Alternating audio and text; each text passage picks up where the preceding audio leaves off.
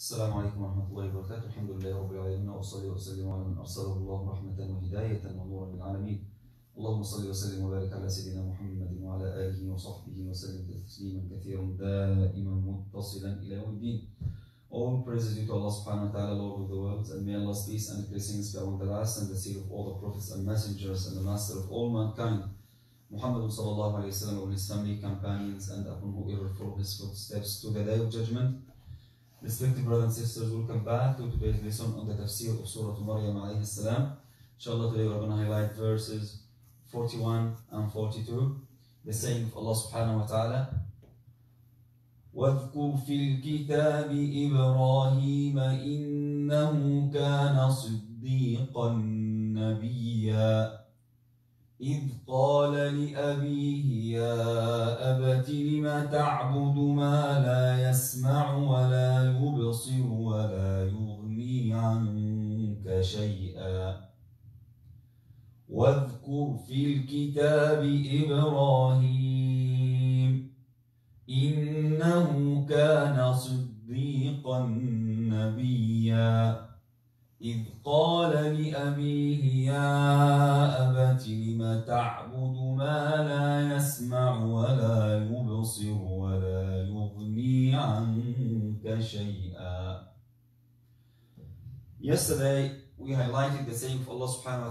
wa ta'ala إِنَّا نَحْنُ نَرِثُ الْأَرْضَ وَمَنْ عَلَيْهَا وَإِلَيْنَا يُرْجَعُونَ and we said that this verse clearly indicates the all power of Allah subhanahu wa ta'ala and that He subhanahu wa ta'ala is fully able to do anything He wants in this universe because He subhanahu wa ta'ala is the creator of all the creatures and that He subhanahu wa ta'ala is the all living all the creatures huh, would die Allah subhanahu wa ta'ala is the one who will stay forever subhanahu wa ta'ala because he is the creator of everything in that universe. That's why one of his most beautiful names is Al-Hayyu. Al-Hayyu. The all living subhanahu wa ta'ala. After mentioning, after mentioning the story of Prophet Zakaria and the Prophet Yahya, and after mentioning the Prophet of uh, Lady Maryam alayhi salam, and a uh, story of uh, the speaking of Prophet Jesus Christ Isa salam, in the cradle with the children of Israel, Allah subhanahu wa ta'ala moves to another new story in Surah Maryam, which is the story of Prophet Ibrahim alayhi salam. In this verse, Allah subhanahu wa ta'ala says, واذكر في الكتاب إبراهيم إنه كان صديقا نبيا Mention of Prophet Muhammad in the book, the story of Prophet Ibrahim for he was a man of truth and a prophet. So Allah subhanahu wa ta'ala, brothers and sisters, in this verse is addressing Prophet Muhammad sallallahu alayhi wasallam. He is speaking to Prophet Muhammad sallallahu alayhi wasallam. Wadhkur means mention O Prophet Muhammad. Mention O Prophet Muhammad. Fil kitab. The word al-kitab means the book. But what is the book in that context? Excellent, the Quran.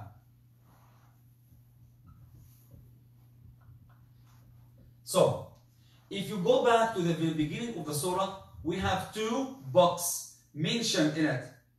Allah subhanahu wa ta'ala says, Ya Yahya khudil kitaba biquwa. And Jesus Christ says, وآتاني الكتاب وجعلني نبيا. So brothers and sisters, when Allah subhanahu wa ta'ala says to Yahya, we said that, Ya Yahya khudh al-kitab biquwwa. What is a kitab? Allah subhanahu wa ta'ala ordered the Prophet Yahya to behold very strongly. Excellent, a Torah. And when Jesus Christ salam, said, وآتاني الكتاب قال إني عبد الله آتاني الكتاب وجعلني نبيا. What is the book of Jesus Christ? Injil. And here Allah subhanahu wa ta'ala orders Prophet Muhammad sallallahu alayhi wasallam to mention in the book, which is the Quran. Mention in the book the story of Prophet Ibrahim alayhi salam. This is a sign of the miraculous nature of the Quran. This is a sign of the miraculous i'jaz of the Quran, inimitability of the Quran. Why? Because Prophet Muhammad was unlettered. Before his ba'tha, before being assigned as a prophet, he wasallam, huh, didn't read and he wasallam didn't try. He wasallam was not an educated person. He wasallam was unlettered. So the question right now, who told him of the story of Prophet Yahya? Who told him of the story of Prophet Isa? Who told him about the story of Prophet Ibrahim? This means that there is a supreme power who must have told him and educated him about those stories. So Allah subhanahu wa ta'ala says, وَاذْكُرْ فِي الْكِتَابِ إِبْرَاهِيم Ibrahim he is Prophet Abraham, as they say. Abraham, he is Prophet Ibrahim. And Ibrahim alayhi salam is the father of all the prophets and messengers of God. Ibrahim is the father of all the prophets and messengers of God. In Arabic we say Abu al-Anbiya. He is Abu al-Anbiya. But the question right now, why is Ibrahim father of all the prophets and messengers of God? Why is Ibrahim the father of all the prophets and messengers of God? Anybody knows? Not the first. The first one is Adam. Adam is the first prophet. Huh? Right, Sultan? And man, we said that. We said that Adam is the first prophet. Right? Okay. So the question right now, why is Ibrahim the father of all the prophets and messengers of God? Because his child and his grandchild and so on was all the prophets. Yeah, like that. Ibrahim, brothers and sisters, Ibrahim alayhi salam hmm, has two sons. Ismail, he is the eldest. Ismail and Ishaq. Prophet Ishaq. From Prophet Ishaq, all the child, all the prophets of Bani Israel, all the prophets of Bani Israel. And from Prophet Ismail, Prophet Muhammad sallallahu alayhi wasallam. Prophet Muhammad sallallahu alayhi wasallam. So that's why he is called father of prophets. Father of prophets. Sarah, his wife, hmm, stayed for a very long period of time, didn't give birth to children. Huh? That's why Allah subhanahu wa ta'ala orders Ibrahim to get married to Hajar. Hajar is the mother of Ismail. Hajar is the mother of Ismail. When Hajar gave birth to Ismail, at that, at that time, Sarah became pregnant with Ishaq Became pregnant with Ishaq. Allah subhanahu wa ta'ala said in the Quran, فَبَشَّرْنَاهُ بِإِسْحَاقَ وَمِنْ وَرَاءِ إِسْحَاقَ يَعْقُوبَ فَبَشَّرْنَاهُ بِإِسْحَاقَ وَمِنْ وَرَاءِ إِسْحَاقَ يَعْقُوبَ So Ishaq is a prophet. Yaqub is a prophet. Prophet Joseph, Yusuf alayhi salam is a prophet. And so on and so forth until it comes to Jesus Christ alayhi salam. So Jesus Christ or Isa alayhi salam is the last, is the last prophet from the children of Bani Israel from the progeny of Ishaq alayhi salam. Ismail alayhi salam, according to the majority of scholars, Prophet Muhammad sallallahu alayhi wasallam is the only Arab prophet come from himself, come from him. Allah's peace and blessings be among them all. That's why Ibrahim was called father of all the prophets and messengers of God. Brothers and sisters, Ibrahim alayhi salam has another important title. What is that? Not, yeah. He and Muhammad Islam are most mentioned in the Quran. Not that. The friend of Allah. Yeah. Khalilur Rahman. Is Khalilu ar-Rahman. Ibrahim is Khalilu ar-Rahman. The close friend of Allah subhanahu wa ta'ala The close friend of Allah subhanahu wa ta'ala. So, واذكر في الكتاب إبراهيم and Allah subhanahu wa ta'ala says إنه كان صديقا صديقا this word صديقا means that he was a man who used to speak the truth he was a man who used to speak the truth and you are going to know why إن شاء الله رب العالمين إنه كان صديقا نبيا he was a prophet who was a prophet if you still remember the question offered to me on the difference between prophets and messengers Ibrahim alayhi salam Ibrahim alayhi salam huh, is one of the senior messengers. We call them Ulul Azm. We call them Ulul Al-Azmi min al-Rusul. We have five senior messengers of God. Who are they? Who are the five greatest messengers of God? yeah, Prophet Noah alayhi salam, Prophet Ibrahim alayhi salam, excellent, Prophet Sufyan and Isa alayhi salam. there is still a missing one. Isa. Isa. He said Isa. Musa. Musa alayhi salam. So these are the five great messengers. These are the five great messengers. Noah, Ibrahim, Musa, Isa, and Muhammad sallallahu alayhi wasallam. Those are ulul azmi min al-rusul. فاصبر كما صبر أولو العزم من الرسل. So Ibrahim alayhi salam was a prophet. So the meaning of the prophet once again, a man to whom Allah subhanahu wa ta'ala gave a divine message and he is also ordered to deliver the message. He is ordered to deliver, ordered to deliver the message. Not for somebody to say that a prophet is not ordered to, to, to deliver the message. So what is the point of, of his prophethood? What is the point of his nubuwwah? So a prophet also is ordered to deliver the message as we said before. Okay. إذ قال لأبيه يا أبتي إذ قال Remember Prophet Muhammad when Ibrahim said to his father يا أبتي يا أبتي In Arabic language يا أبتي means Oh my father Oh my my father In Arabic language this style indicates some sort of respect some sort of respect And this is the same way Yusuf alayhi salam, when explaining his story, he said to his father Yaqub, يا أبت إني رأيت أحد عشر كوكبا. يا أبت إني رأيت أحد عشر كوكبا. Muslim scholars said that he raised a very important point, which is that Allah subhanahu wa ta'ala will order Prophet Muhammad sallallahu alayhi wa sallam to make da'wah. He wa ta'ala said to him, بالحكمة والموعظة الحسنة. ادع إلى ربك بالحكمة والموعظة الحسنة. When you see someone who is doing bad, who is doing evil, don't go to back and say, do so, do so. No, no, not like that. Deal with them with wisdom and good admonition.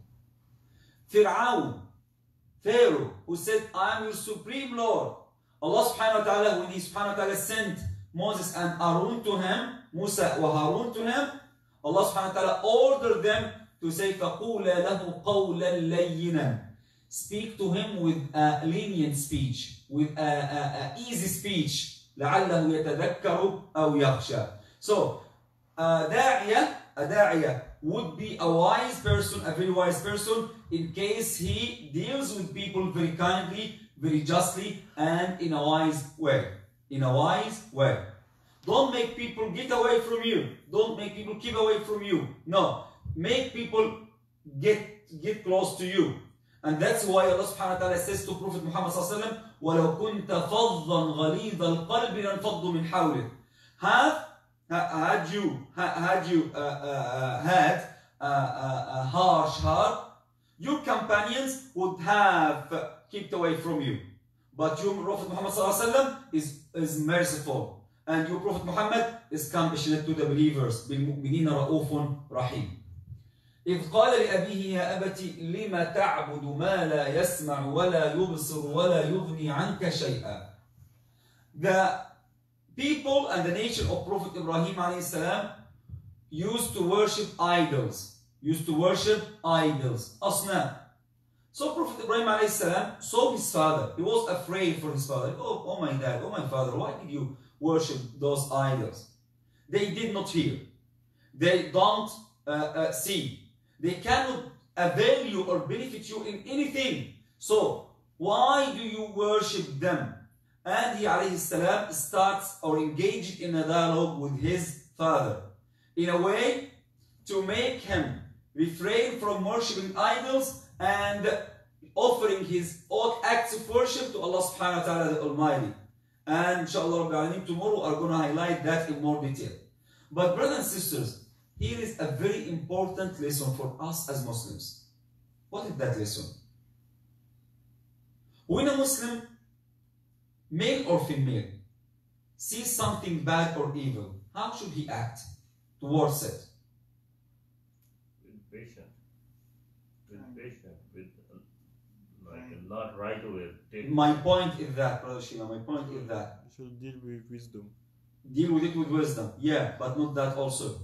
You, when you see something bad, someone com- someone committing a mistake or a sin before you, okay, or some evils committing for you, you think that you should remain silent like that, or you should you, huh? You should hate it in your heart if you can do anything. This is the last one. This is the last one, step. You should try to change the person. Yeah, that's it. Changing evil. This is the lesson. Changing the evil. When you see something bad or evil, as a Muslim, you must change that evil. You must change that evil. Okay? We have three stages of changing evil, according to the hadith of the Prophet. Number one, if you have the ability, if you have the authority to change it with your hand, meaning with power, do that. Do that. If not, use your tongue. Say to him, brother, that's haram.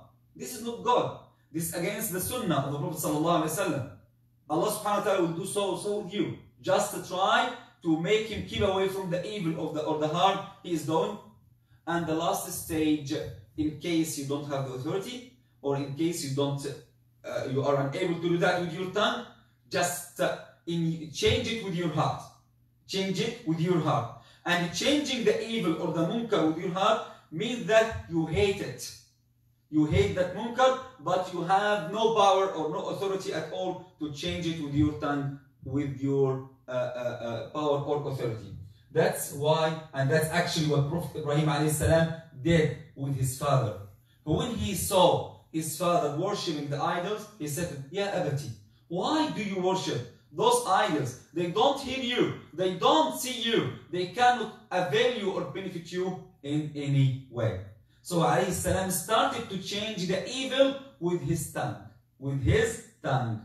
And inshallah tomorrow we are going to know that Ibrahim alayhi salam moved to a higher level and he alayhi salam he changed the evil with his hands. With his hands. So that's for today's lesson inshallah Rabbil Alameen. I will be happy to receive your questions if you have. So when you say to Yes. change the evil with his tongue, what do you mean? Like make dua or You, I, I for example, uh, see brother Adam committing a mistake. For example, uh, smoking cigarettes. Uh-huh. Didn't come to the masjid. This is munkar. This is haram. So I'm going to speak with him with wisdom. That's that's wrong. That's against the sunnah of Sallallahu You should do so and so and so, so that Allah Subhanahu wa Taala will, will be pleased with you. So this is the changing of the munk of munkar. Yeah. Hmm? Any questions? Okay, brother. Last uh last couple years ago, we have a brother who come here. When he come, he pray. He have a little rock like a rock. It's rocks, little round rock. He pray. When he pray, he he don't put his. This is another point. Mm, yeah. This is another point. This is another sect of Muslim okay. called Shia. Yeah, yeah, yeah. So with Haman. Is Ibrahim and Muhammad the most mentioned in the Quran? The most mentioned in the Quran. Prophet Muhammad sallallahu uh, uh, no. The, the, the one who is most mentioned in the Quran is Prophet Musa alayhi salam. Musa alayhi salam is the, is the one who is most mentioned in the Quran. Yeah. Brother, you didn't get my question. Yeah. I didn't I didn't ask you the question yet. My question is, so their brother, should we tell him, no, you cannot do this? Or okay. Yeah. Inshallah. Assalamu alaikum wa rahmatullahi wa barakatuh.